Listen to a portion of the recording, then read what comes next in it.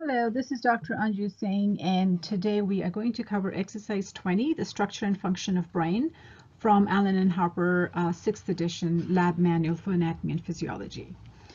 So uh, basically, the human brain is where um, all the information from our body is uh, integrated, collected, cataloged, um, it coordinates all the variety of the incredibly possible um, processes that we experience in our life. There is no computer currently available that can um, function like the human brain. Uh, this is amongst one of the largest organs in the human body. It is responsible for our memory, it is responsible for our intellect, our ideas, our behavior. Um, as I said, it catalogs all the information we have perceived uh, through the sensory input. It integrates that information with previously acquired and uh, cataloged information. It records all of this and it produces actions um, based on the result of uh, this information synthesis. The brain, like any other organ in the body, is very well protected within the skull, the cranial cavity. And during development um, as a fetus, the brain and the skull grow simultaneously. So the skull actually is a mirror image of the brain because it literally grows very, very closely. I don't want to use the word attached, but it literally mirrors the brain because it grows alongside it. The brain is mainly made up of four regions. The uh, cerebellum, the diencephalon, the cerebrum, and the brain stem. So if you go up from the spinal cord, the first part we see here is the brain stem. The, uh, the brain stem consists of three parts, the medulla oblongata, the pons, and the midbrain. Uh, the cerebellum lies posterior to the midbrain and inferior to the cerebrum. Uh, the diencephalon consists of the thalamus, the epithalamus, the hypothalamus. This central part, that is the diencephalon. And this outer part, that's the cerebrum. So these are the four parts of the human brain. The, di uh, the, uh, the medulla oblongata, which is immediately superior to the spinal cord. This is like uh, the most vital part of the brain because it houses the respiratory center and the cardiovascular center. So this controls breathing and heartbeat, and therefore it is so vital.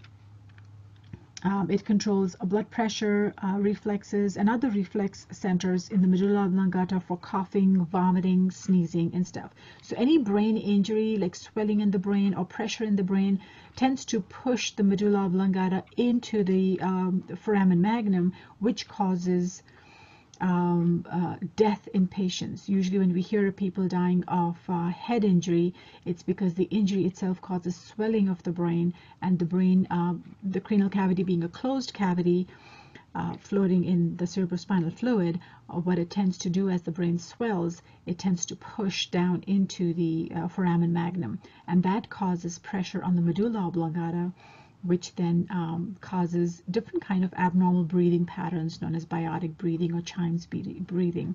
And these are signs that the patient is, we call it, the patient is coning because the cone, this cone is being pushed into the foramen magnum. And that is a very, uh, a sign of poor prognosis in the patient if the pressure is not relieved immediately. The pons, uh, these are expanded structures that are located superior to the medulla oblongata and they're anterior to the cerebellum. Uh, they have respiratory centers that assist the medulla oblongata in controlling breathing. And again, remember, I said we have about 100 billion neurons and about 100 trillion connections. So everything is connected to everything and has an influence on anything. So some centers may be the primary center uh, to control certain things, but they will invariably be connected to and therefore receive information and impulses to modify their final uh, motor output, if you will. All right. So the pons also has some respiratory centers that influence the respiratory centers in the medulla oblongata. Uh, the pons also relay information from the diencephalon uh, to the cerebellum. All right, so there'll be connections between the diencephalon to the uh, uh, cerebellum that go through the pons. The midbrain Um, this is a smaller area. It is again superior to the pons. It is inferior to the diencephalon. It consists of cerebral peduncles. I need you to make sure you listen carefully. We have a structure called cerebral peduncle and cerebellar peduncle. Right now I'm just talking about the cerebral peduncle. All right. Um, and it also has another structure known as the corpora quadrigemini. Quadrigemini, quadri means four, gemini means twin. So they are basically four twin bodies. Uh, the cerebral peduncles, these are white fibers that connect the upper and lower brain areas. And the corpora quadrigemini are composed of two superior colliculi and two inferior colliculi. Uh, the superior colliculi, they have reflex, uh, uh, reflex centers that involve the eye movement, movement of the head, movement of the neck, and uh, also visual stimulation. The inferior colliculi have reflex centers involving the auditory stimulation that result in uh, head and trunk movements. Any um, abnormality or disease or damage to these colliculi can result in conditions like nystagmus, where there's involuntary abnormal rapid movement of the eye, or it can cause um, vertigo, where patients feel dizzy. Uh, and there are many, many different causes of nystagmus and many, many different causes of vertigo. This could be one of them. All right, and we will see those structures in the following figures. Just making sure I've covered everything here. So here's your spinal cord going up. You've got your medulla oblongata here. Uh, so medulla oblongata is here. This is the pons here, the midbrain. This is the cerebellum, and we'll go see that in detail in a little bit. This is the diencephalon here, consisting of the hypothalamus, the epithalamus, the pineal gland, which is part of the epithalamus, um, the uh, hypothalamus, the infundibulum, this little stalk here is the infundibulum, and then you have the pituitary gland with the anterior and posterior pituitary, deja vu, we've covered this in, uh, in endocrine system, and this is the cerebellum here. Uh, so this is uh, the, like a cadaver dissection of a brain showing a mid-sagittal section. So here's your spinal cord, the medulla oblongata, the uh, pons, uh, the midbrain here, this is the diencephalon, the cerebellum back here. This is the cerebrum on top. All right. Now, um, going slightly more into detail, uh, we talked about the corpora uh, quadrigemini. Uh, that is the area that has four nuclei that is your number one those two superior colliculi here responsible for visual stimulation and eye movement um, and the head and neck movements and then the inferior colliculi that uh, involve reflexes involving the auditory stimuli resulting in head and trunk movements so these are your superior and inferior colliculi um, that make up your corpora quadrigemini then number two is this uh, cerebral peduncle cerebral peduncle, not cerebellar peduncle. We'll do that later. Uh, number three is the pons. Number four is the medulla oblongata. So we covered that. This is the inferior aspect of the brain. Again, a model showing the inferior view of the brain. This is a cross-section through the spinal cord as it ascends up. You can see by medulla oblongata gets its name. It's got this oblong layer, uh, oblong appearance. Now here we're seeing the middle cerebellar peduncle. All right. This is the middle cerebellar peduncle. Up here, these uh, bulges, these are your pons, and here is the midbrain. And these are all the cranial nerves coming out, and we'll do them a little later. So the, right from here, from the midbrain down to the medulla oblongata, that's all your midbrain. Here they've sort of included the superior, um, the spinal cord in the midbrain. The spinal cord is not part of the midbrain. From medulla oblongata to the midbrain is your brain stem. All right. Um, this is again the inferior view of a human brain, showing the lower end of the spinal cord down here. This is the medulla oblongata here. Um, these um, bulges at the pons. This is showing the middle cerebellar peduncle on the side here. and that's the midbrain up there. All right, this would be the cerebellum on either side. This is the cerebrum. And then these yellow things are all the uh, cranial nerves coming out.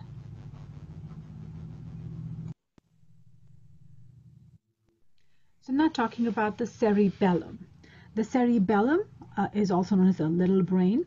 It is second in size to the cerebrum.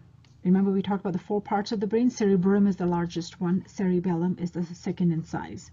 It is located inferior uh, uh, to the cerebrum and it is posterior to the medulla and the uh, pons. The cerebellum has two hemispheres known as the cerebral hemispheres and they're connected um, in the center by the vermis. So number one here shows you the cerebellar hemispheres and in the center is the vermis connecting the, the, the two hemispheres. Now, um, just like how we see sulci, gyri, and these, you know, like crevices, if you will, in the cerebell uh, in the cerebrum, we also see them in the cerebellum.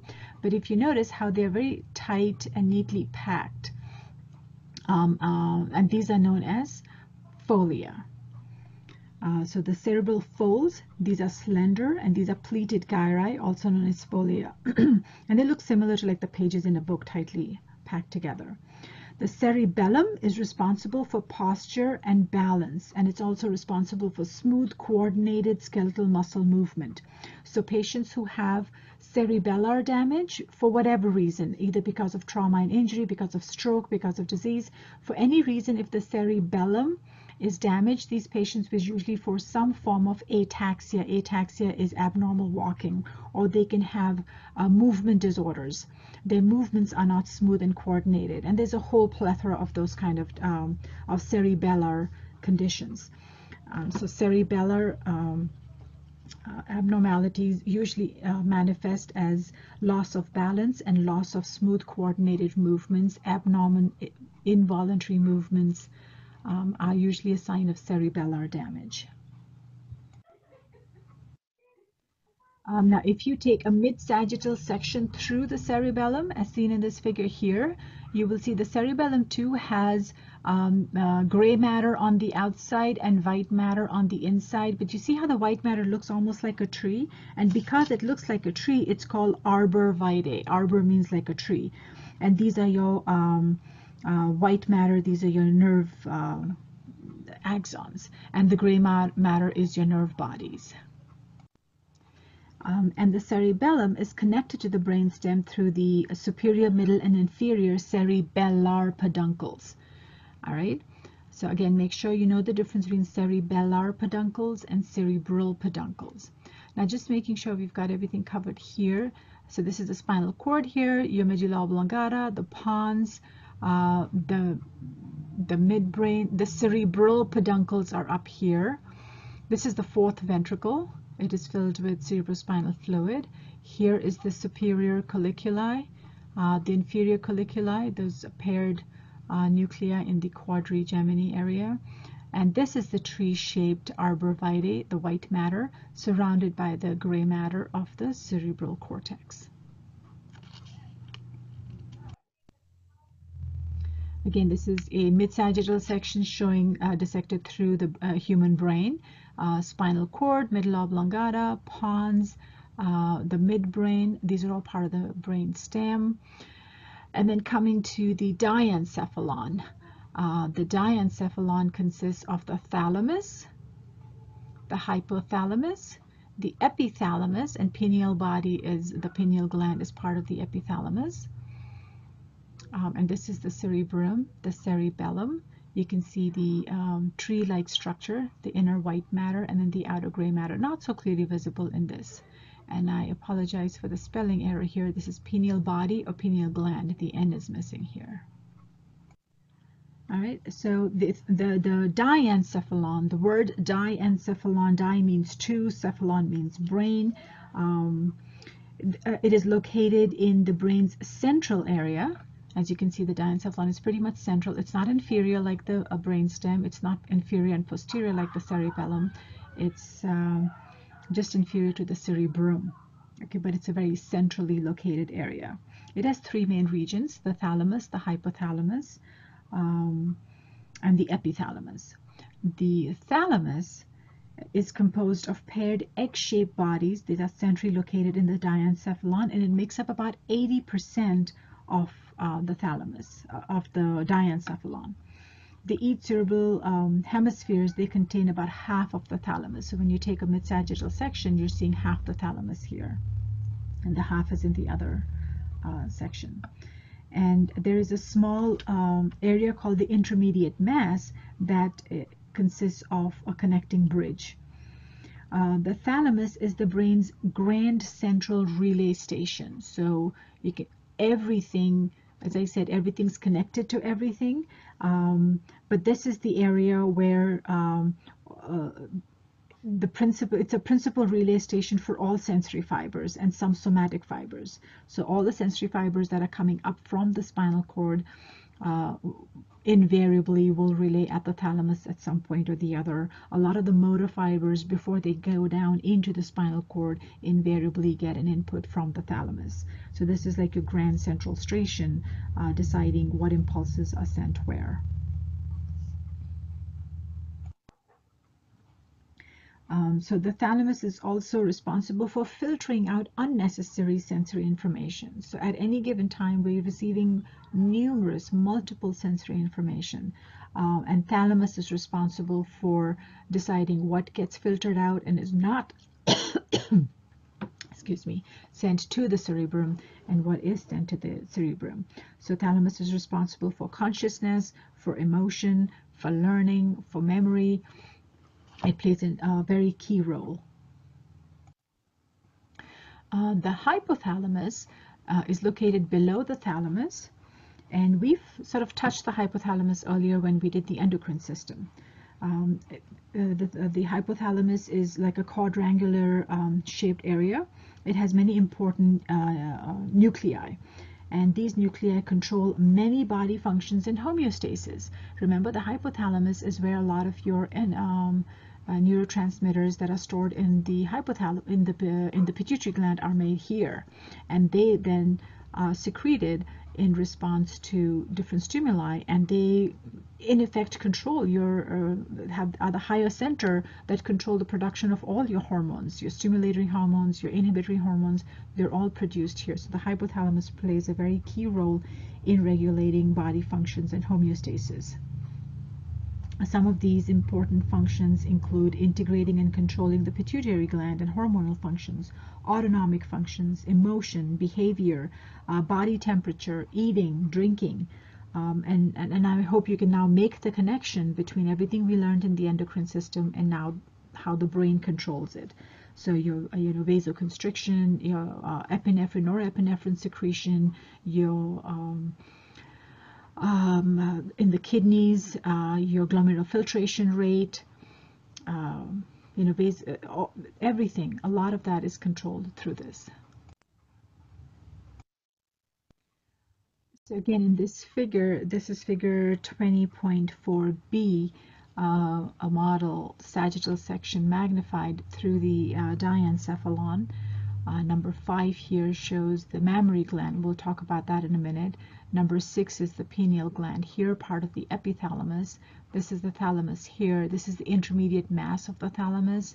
And here's your large or hypothalamus, and then your infundibulum going down to your pituitary gland. You have your anterior and posterior pituitary glands here.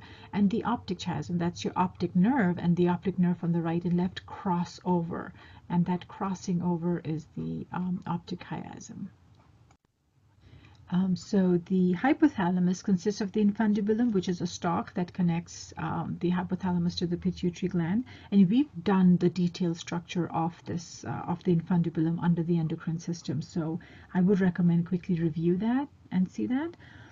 Um, and it, uh, the hypothalamus consists of the mammary body, and the, uh, the mammary body, these are two small round masses that are located posterior to the infundibulum, and they are the relay station for uh, smell and taste reflexes.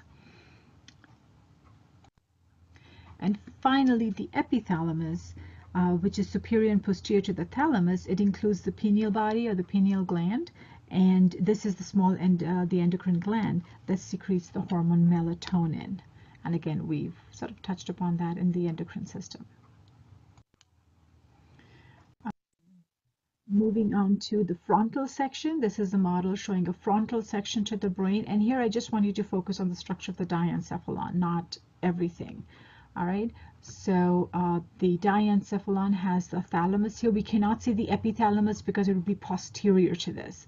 And therefore, we can only see the thalamus, these orange bodies here and the hypothalamus, these bluish nuclei on either side of the third ventricle. This is the third ventricle. It has CSF in it, and these are the two lateral ventricles like wing shapes. If you see a CT scan, the first most important, like a hallmark to be seen on a CT scan of a brain would be these wing-like projections. These are your lateral ventricles.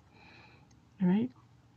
So again, focusing on just the diencephalon, uh, we have the thalamus, and the hypothalamus here. The epithalamus is not visible because it would be posterior to this.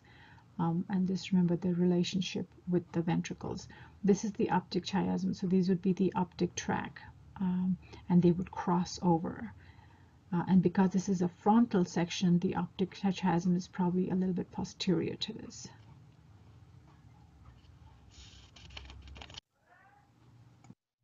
So now we move on to the cerebrum.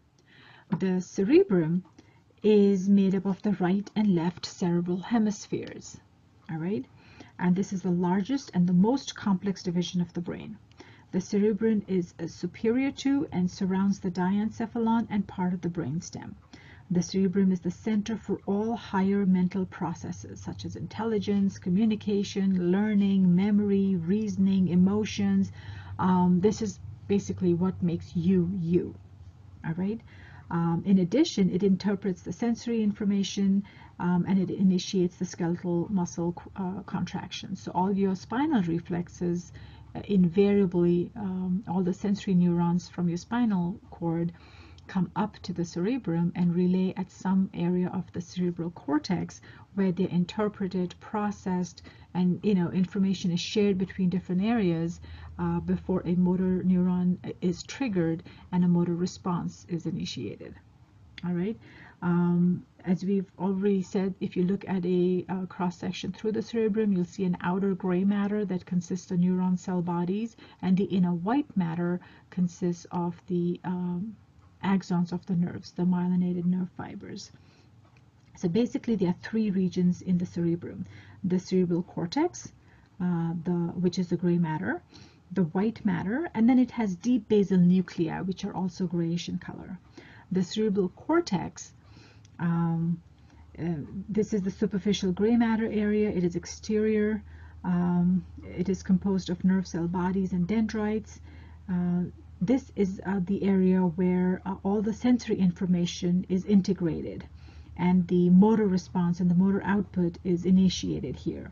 It is also involved with the emotion and intellectual processing. The basal nuclei, these are the areas of cerebral gray matter composed of paired nuclei. So they are clusters of neuron bodies in the central nervous system. And these are found deep within each cerebral hemisphere. The basal nuclei control autonomic um, sorry, they control the automatic skeletal muscle movement and are involved in the limbic system and the emotional brain. The cerebral white matter, which lies deep to the outer gray matter or the outer cortex, this is composed again mainly of the myelinated axons that give it the white appearance. And these axons are now organized into basically three different kinds of fiber tracks. Um, the tracks in the cerebrum are named according to their direction. So number one is the association track that transmit nerve impulses within the same hemisphere.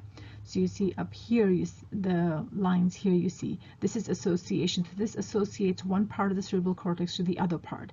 Um, as I said, almost every impulse that we perceive um, is capable of being um, uh, received, interpreted by almost any other part of the brain, and that is done by all of these different connections. So association fibers are the one that um, uh, these are nerve impulses that connect within the same hemisphere. The commissural fibers are the ones that cross. They communicate between the two hemispheres. All right, they transmit nerve impulses between the two hemispheres. And then you have your projection fibers, the blue ones here. These are the projection fibers. These are either ascending tracks because they're ascending from the spinal cord up into the cerebral cortex, or they could be descending tracks that are taking motor impulses down from the cerebral cortex into the spinal cord. All right, so the projection fibers can be either ascending tracks or descending tracks.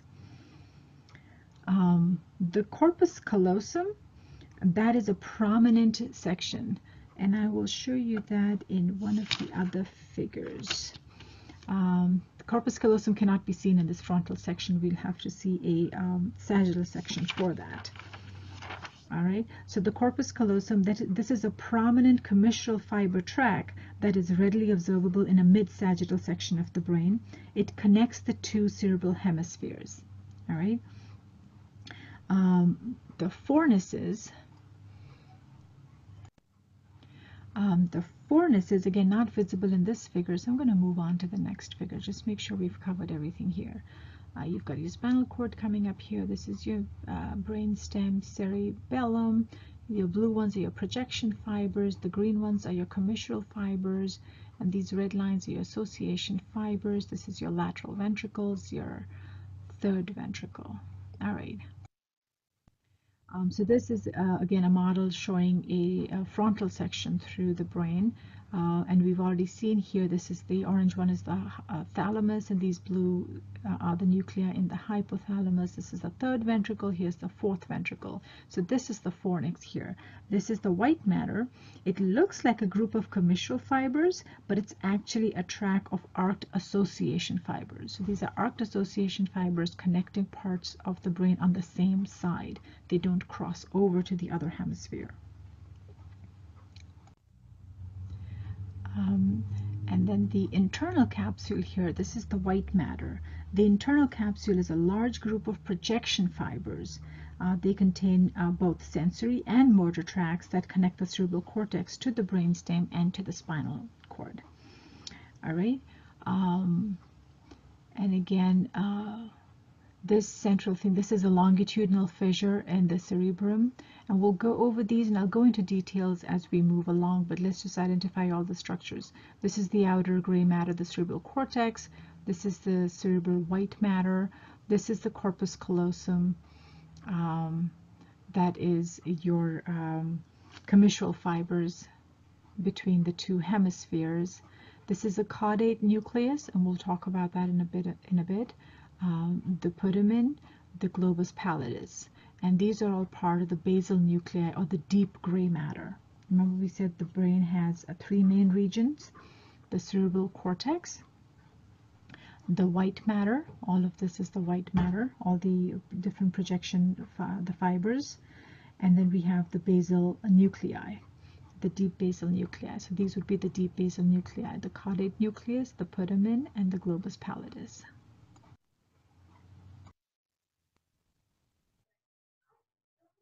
All right, so this is a uh, dissected brain, frontal section through a dissected brain. Um, so here's the third ventricle. These are the lateral ventricles. Number one here is showing uh, the internal capsule, which are your projection fibers. Number two is the gray matter. Number three is the white matter. Number four is the corpus callosum, uh, the commissural fibers. Um, number five is your um, fornix. These are your association fibers. So they, although it appears as if they're connecting the two hemispheres, they actually don't. They're just arced and they go back into the same hemisphere. And number six are your basal nuclei, your gray matter.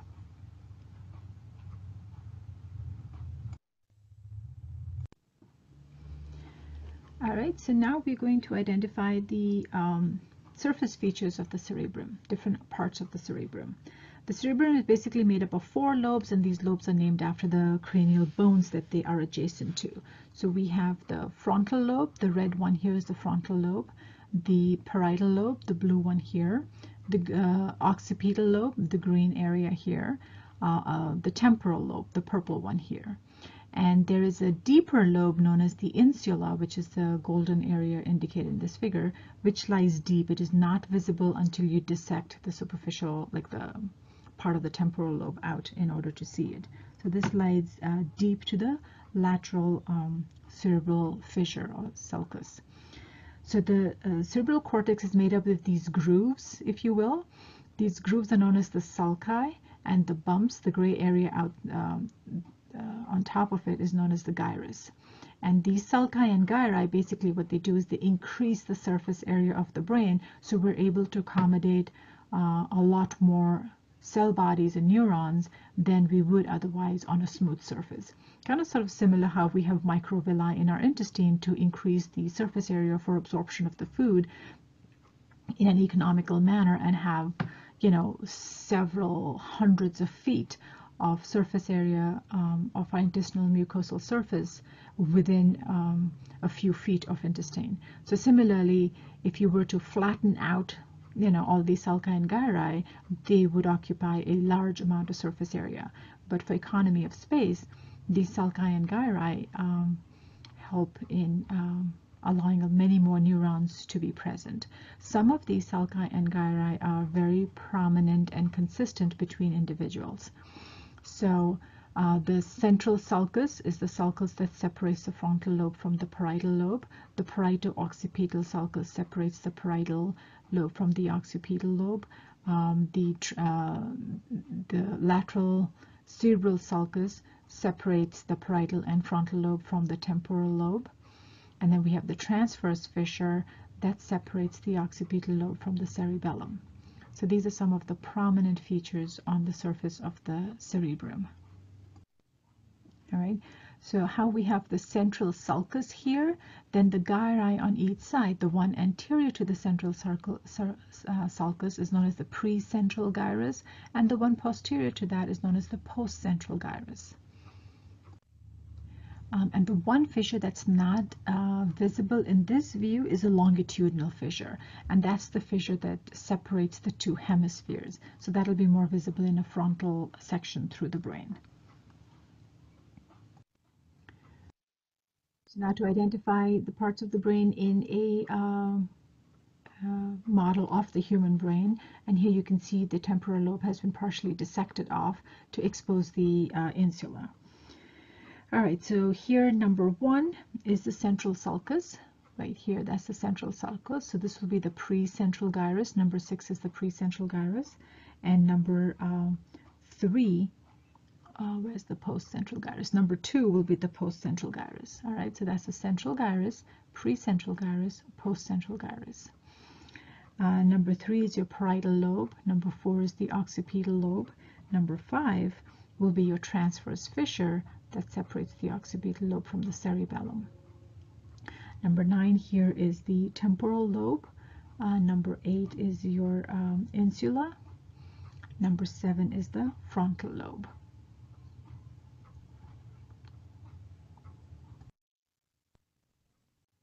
All right, now that we know like the outer structure of the cerebrum, uh, let's identify the areas by function. All right, so number four here shows uh, the um, central sulcus. So your pre-central gyrus, number three, is your primary motor area. All right, uh, and the post-sulcus gyrus, the blue area here, that is your primary somatosensory, your primary sensory area um, your primary somatosensory area. This is, you know, on the post uh, post-central gyrus.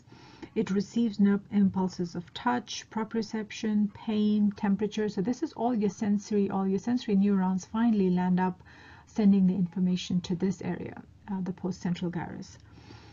Um, and then your uh, primary motor area in the precentral gyrus, this is where uh, most of your motor impulses are initiated impulses sent to mainly the skeletal muscles. Um, and then we have the Broca's area. Number one here with the dotted line, that's the Broca's area.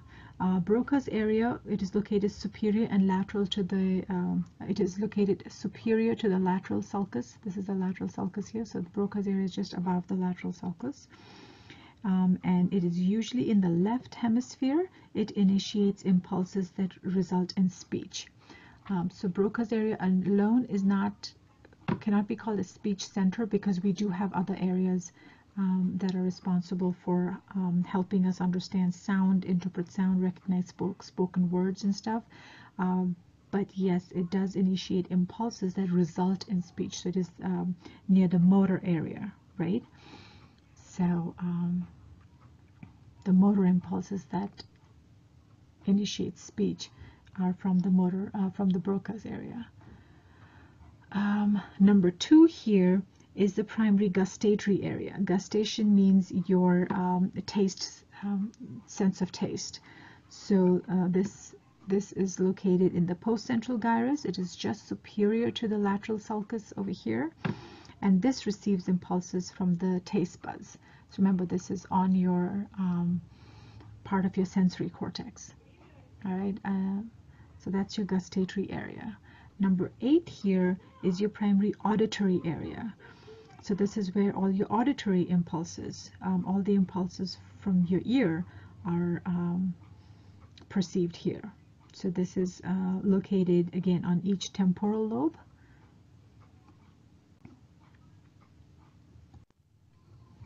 All right, so it is on each uh, temporal lobe and it receives impulses from the auditory receptors of the ear.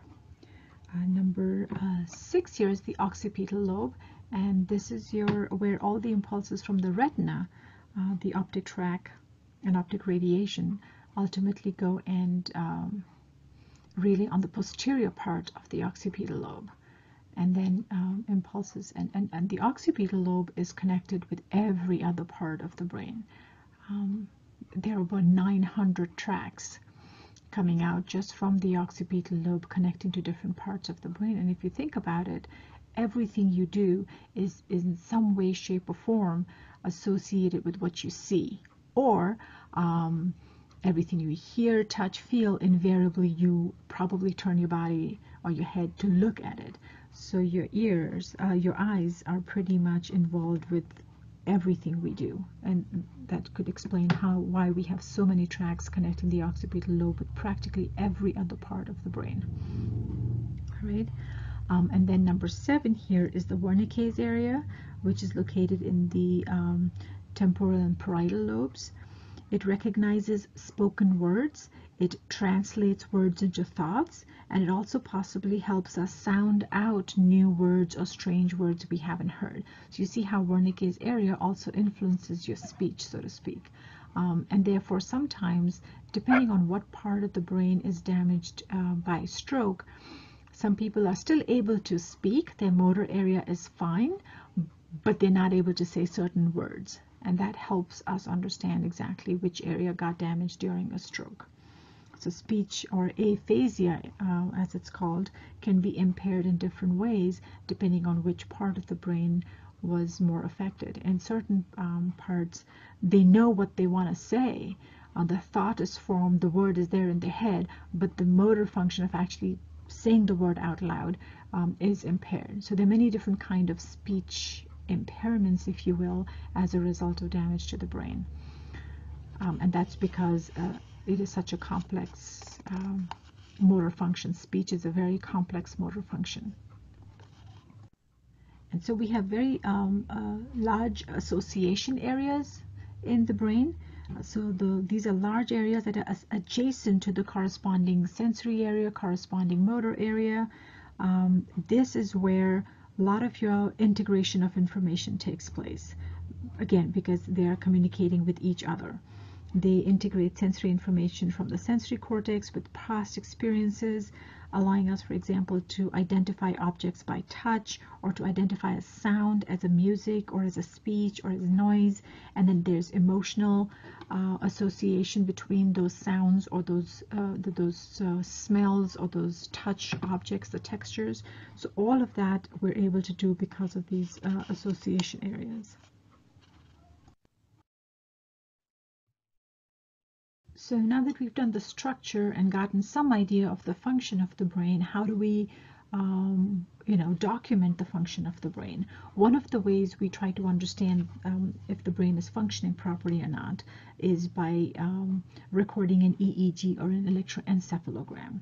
So basically, uh, the brain sends these action potentials. These are actually electrical currents. So these electrical currents can be picked up by wires and electrodes if attached to the head and then um, displayed on a screen or recorded on a paper right? And, and that record of the brain waves, of the electrical activity going on inside the brain is known as an electroencephalogram. Um, and we won't go into the details of that, but just uh, there are four basic type of brain waves. Um, they are known as alpha, beta, theta, and delta brain waves. They differ by their frequency, which is the number of waves per second. They differ by their amplitude, and they differ by different conditions in wakefulness, in different stages of sleep, um, with different responses.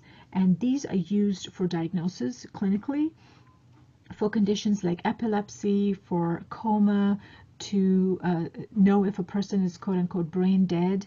Um, for numerous brain diseases, uh, also in dementia. Uh, they're very, very commonly used for sleep studies for patients with insomnia, hypersomnia, uh, nighttime terrors, um, so numerous sleep disorders. Um, uh, they study uh, EEGs. They can also monitor brain activity during, say, general anesthesia um, again for comatose patient, uh, demented patients in dementia too, EEGs are used to diagnose um, patients with dementia and be able to uh, try to distinguish different kinds of dementia or see the rate of progression of a dementia. All right, so that's just the basic of uh, electroencephalograms. So now we come to how is the brain protected? Like every other organ in the body, um, that is critical for life, um, the body is designed to protect it. Similarly, the brain too is uh, protected both physically and chemically. The cranial cavity uh, protects the brain physically. The cranial cavity has anterior, middle, and posterior cranial fossae. And I took this figure from chapter 9, from exercise 9 in the lab manual because this figure was not there in this chapter, just to show the anterior, middle, and posterior cranial fossae. Uh, the anterior cranial fossa, it supports the uh, frontal lobes of the cerebrum. The middle cranial fossa supports portion of the temporal and parietal lobes of the cerebrum um, and also the diencephalon. The posterior cranial fossa supports portion of the temporal, parietal, and occipital lobes of the cerebrum. It also supports the cerebellum and parts of the brainstem. All right, so these are your three different fossae. And if you remember looking at the skull, um, you could see how there was the wing of the sphenoid bone that separates the anterior fossa from the middle fossa, and then you have the process in the parietal bone um, that separates the middle fossa from the posterior fossa. All right, now coming to the uh, chemical uh, protection of the brain offered by uh, the blood-brain barrier, the meninges, and the cerebrospinal fluid. Uh, we touched upon the blood-brain barrier briefly even in the spinal cord, but we'll uh, see it again in a bit. All right, so here in this figure, we are seeing a frontal section. Um, this inlet here shows you it's a frontal section through a part of the parietal bone um, showing you the three different meninges. Now the three meninges, as we know, they're the dura mater, arachnoid mater, and the pia mater. Same three meninges that surround the uh, brain also surround the spinal cord. So we've seen these when we did the chapter of the spinal cord. Dura mater is the outermost layer. The dura mater itself has two layers in it. The outermost layer of the dura mater is known as the periosteal layer, and it is tightly adherent to the inner surface of the cranial bone. And the um, meningeal layer um, that is just exterior to the arachnoid matter and it is then adherent to the uh, arachnoid matter. Now there will there is sometimes in certain places uh, a, split between these two layers of the dura mater and that is known as the dural sinuses. And uh, eventually these sinuses eventually drain all the venous blood from the brain.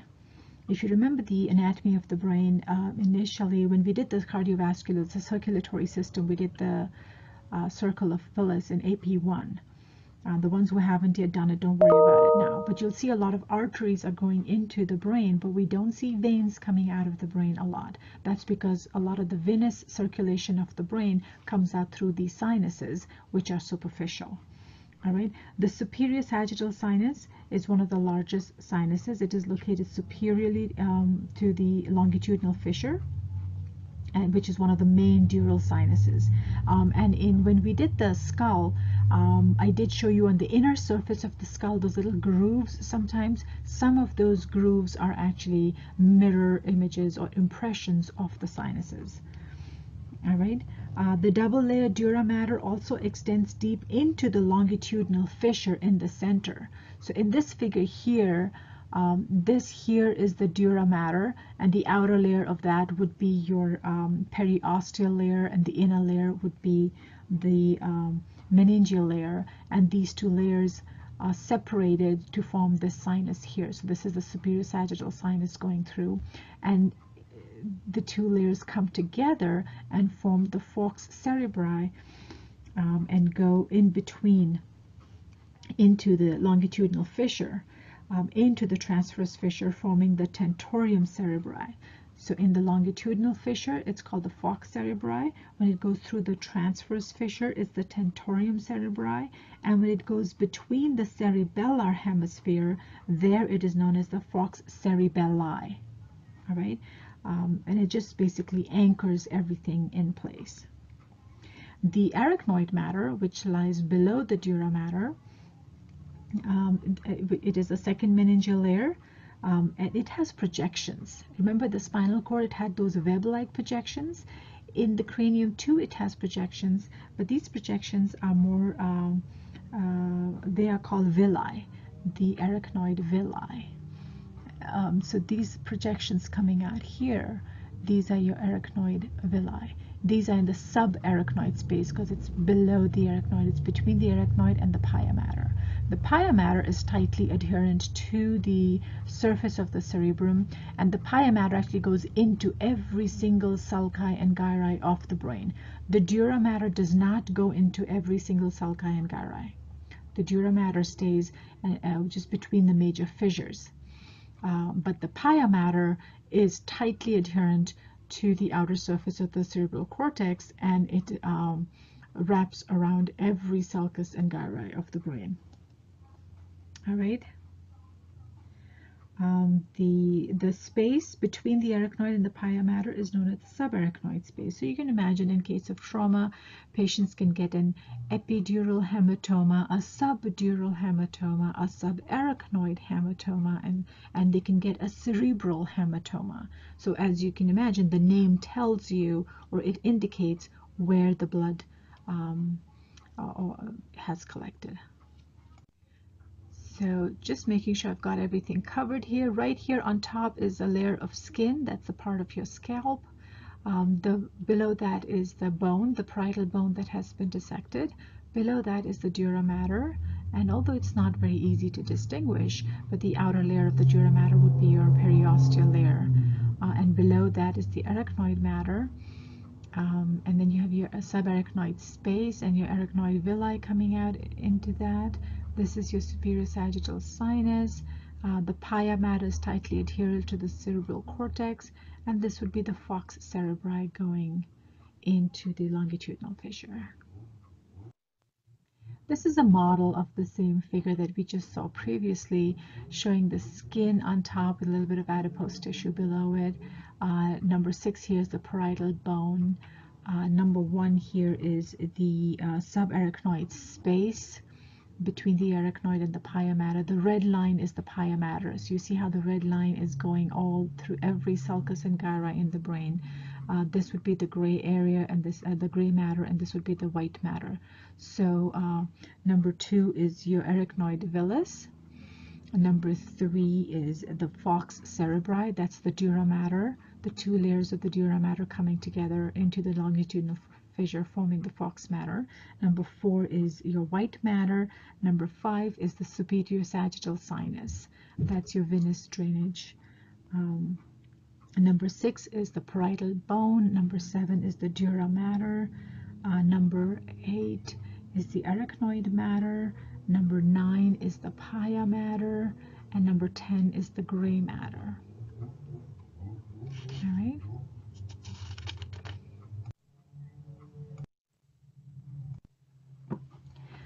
So as I've said before, the brain and the spinal cord um, is constantly bathed in the cerebrospinal fluid. Um, and this cerebrospinal fluid provides it the oxygen, nutrients, and other vital chemicals that it needs. Um, the, the difference, although, although the cerebrospinal uh, fluid is different in its content, it is derived from the blood. So it comes from uh, little blood vessels or capillaries known as the choroid plexus. So number two here in the figure is the choroid plexus. And it, uh, there's a very specific controlled uh, filtration slash, slash secretion happening that uh, produces the CSF, the cerebrospinal fluid, in the third ventricle here. Uh, so basically the ependymal cells, if you remember in the neuroglial tissue, we talked about the ependymal cells. Um, the uh, ependymal cells are the ones that help secrete the CSF into these four brain cavities known as the ventricles. So the four cavities are the lateral ventricle, that's number one here, the third ventricle, number six, and then the fourth ventricle, number four. All right, so blood comes out of the choroid plexus um, and uh, with the help of ependymal cells, it is uh, we get CSF that is secreted into these ventricles. Now these ependymal cells, if you notice from the chapter where we saw them, uh, they have little cilia on them, and that cilia help the flow of CSF in one direction. So uh, the choroid plexus are present on the roof of all four ventricles. The lateral, the lateral ventricle uh, is located in each of the uh, cerebral hemispheres, um, and they have a thin membrane known as the septum uh, uh, pellucidum that separates the two ventricles anteriorly. Now the each arch lateral ventricle has an interventricular foramen that connects the two. All right, so this right here is your septum pellucidum and the ventricular foramen isn't seen in this figure, um, but the two ventricles are connected by the interventricular foramen that opens medially into the third ventricle. The third ventricle is centrally or medially located between the pairs of masses of the thalamus, and we saw that in one of the previous figures through the frontal section. All right, so the thalamus is there. Um, and uh, it is narrower and smaller than the other ventricles. Now connecting the third ventricle to the fourth ventricle, uh, this is the fourth ventricle here, connecting this, uh, number three here, is the cerebral aqueduct that connects the third ventricle to the fourth ventricle. The fourth ventricle is located between the pons and the cerebellum. Um, uh, one of the clinical applications is either because of a tumor or trauma or scarring as a result of meningitis or some other infection inflammation of the brain many a times uh, this cerebral aqueduct can get blocked. If this cerebral aqueduct gets blocked, the CSF tends to accumulate here, backlogs and accumulates, and uh, the third ventricle becomes enlarged and it pushes and puts pressure on these parts of the brain. And that is what we call a hydrocephalus. Uh, if it happens in a young child whose brain is still developing and the sutures are not closed and the brain and the bones are still soft, the head actually enlarges in, uh, in hydrocephalus babies if you've heard that condition, one of the treatments for that is to put a stent uh, to open the um, duct. And many a times there's usually a stent put that goes from the cranial cavity down into the peritoneum and the CSF is uh, taken out from there. All right.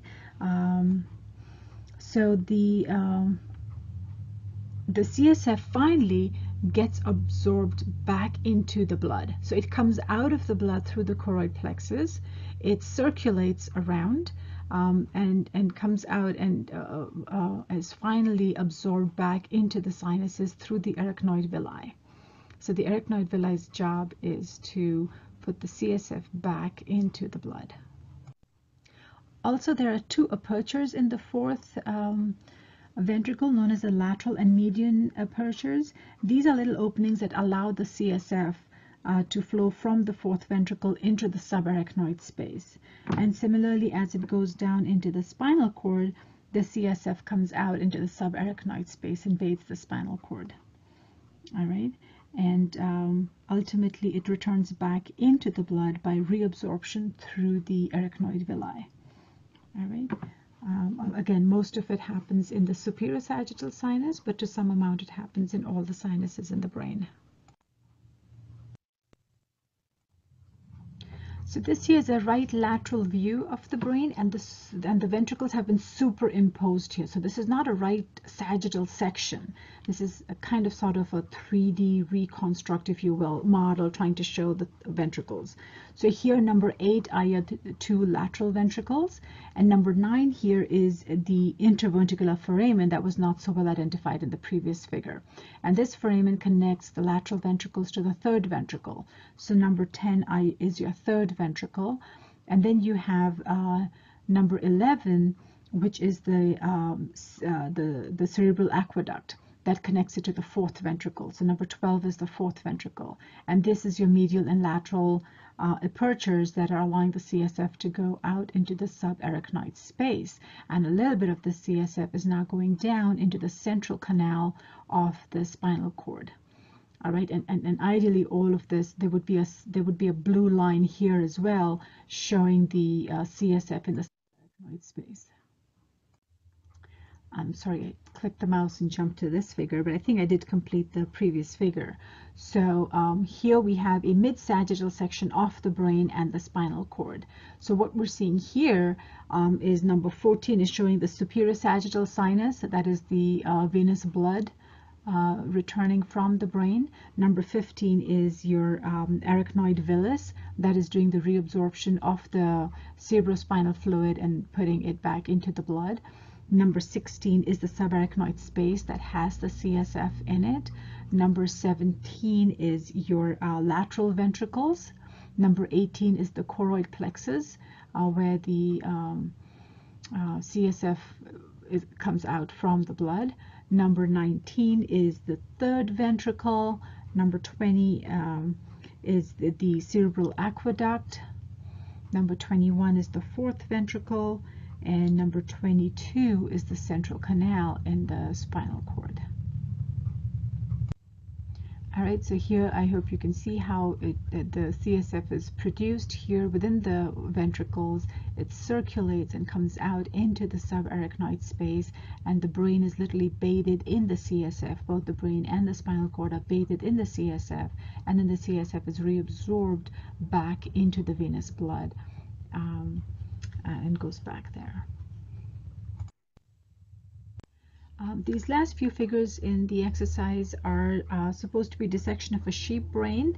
Unfortunately, we're not able to do that, but um, just to identify different parts of this uh, of the sheep brain, here you have the frontal cortex, you have the right cerebral hemisphere, this is the left cerebral hemisphere, here's the parietal lobe, these are the little sulci, the dark lines, and the lighter area, those are the gyri.